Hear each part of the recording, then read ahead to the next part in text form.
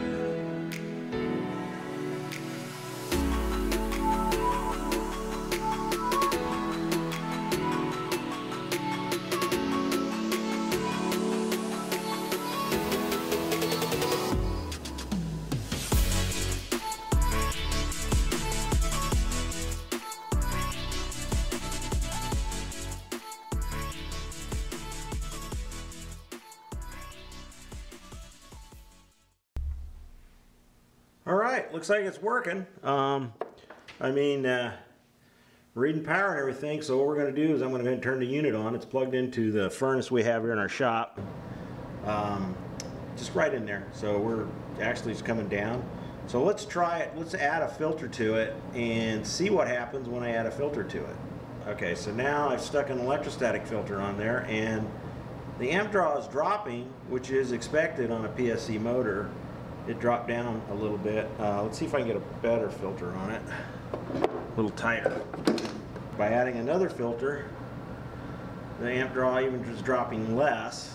Again, PSC motors like high static, and the static is climbing on this unit, but this is perfect for uh, doing those readings without having to actually pull out your meter on furnaces.